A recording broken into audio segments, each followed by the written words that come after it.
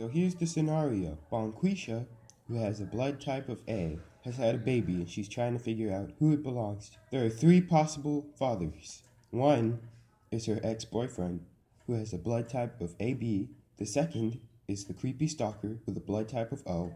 And this guy with the blood type of B. And is that your phone number? We're gonna use Punnett squares to figure out who the father is. Did you hear him? We're about to do some Punnett squares. Oh, you know, I heard him. I love football. No, no, not punt it squares. Punnett squares. I heard about those in school. Okay, let's say that Bonquisha has a thin nose, which is a recessive trait. And her ex-boyfriend and this guy have wide noses.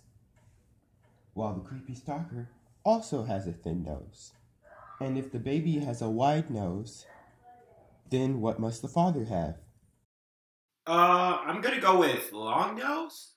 Survey says the father would have to have a wide nose so that his dominant traits would show.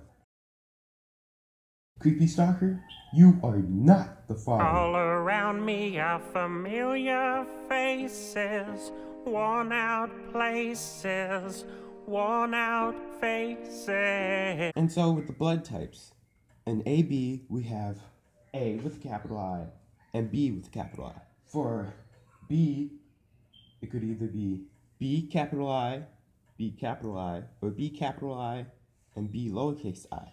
And the baby's blood type is AB. So who do we think the father is?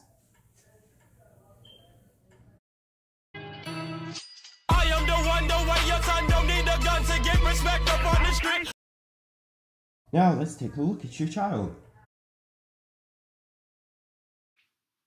Why is my baby's face naked? Where's his nostrils? Oh, um, that's my fault. I I haven't finished editing. Yeah, you better get that fixed. I'll get right on that.